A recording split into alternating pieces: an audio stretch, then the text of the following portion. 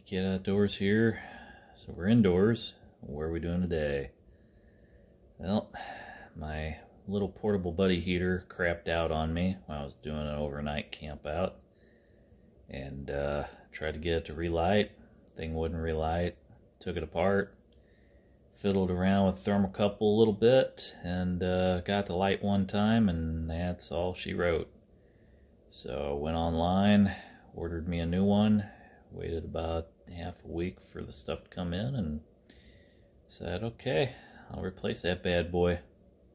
So let's check it out.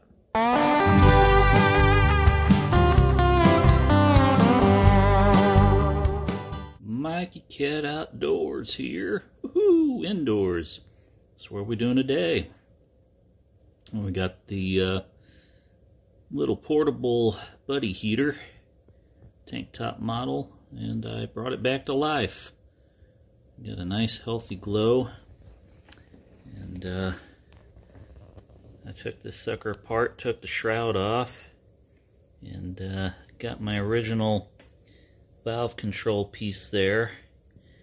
I bought a new thermocouple, and it came with a little valve piece as well but I didn't put that on because the electronic uh, connector didn't want to come off very easily. I didn't really want to strip or break anything on the heater.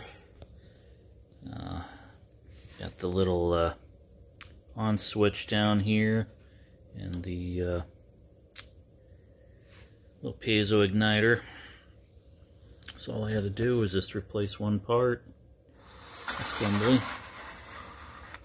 a little off switch. I'll turn that off real quick. There goes the heater. So, uh, this guy right under here is a new assembly that I put on. So it's got a uh, little gas tube. It's got a little piezo sparker electrical port there, and then uh, little doohickey on the left there, the screen. That's the thermocouple. That's the guy that caused all the trouble.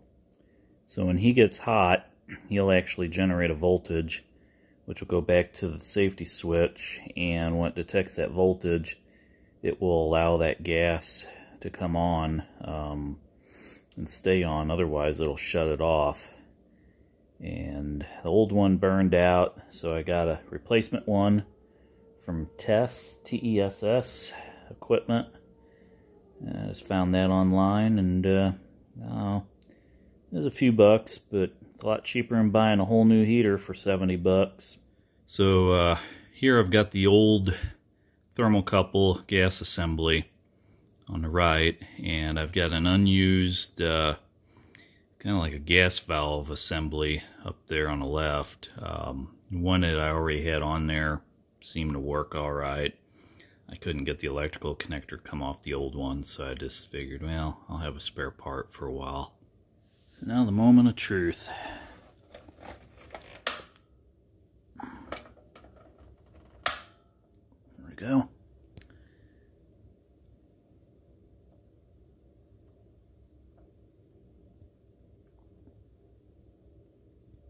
Gotta let this thing set for about 30 seconds. And then once you got it on for about that time, you release the switch and eventually the gas should flow up to the catalytic ceramic part there. There we go. Cool beans. Got this bad boy working again. So if your uh, buddy heater, no matter what size it is, if it starts crapping out on you or it won't stay lit, um, sometimes it's a tip over switch, but most of the time, probably nine times out of ten, it's going to be a bad thermocouple. So I just spent 26 bucks, bought one. Maybe could have found it a little cheaper, but you know, 26 is a heck of a lot better than 70 bucks for a brand new heater of this size. Um, large ones are even more expensive.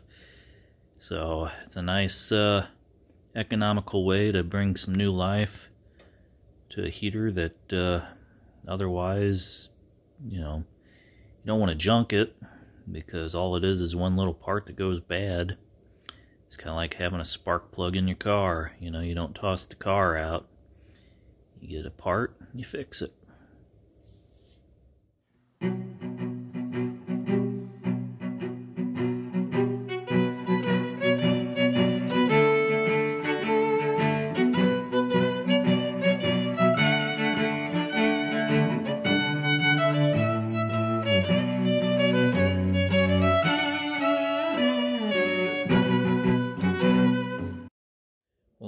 Everybody, if you like what you've seen, feel free to like, comment, subscribe, and uh, catch you again the outdoors or the indoors or wherever.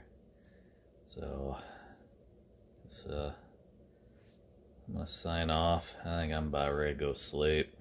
So, I'll catch you later. Have a good one. As always, thanks for watching.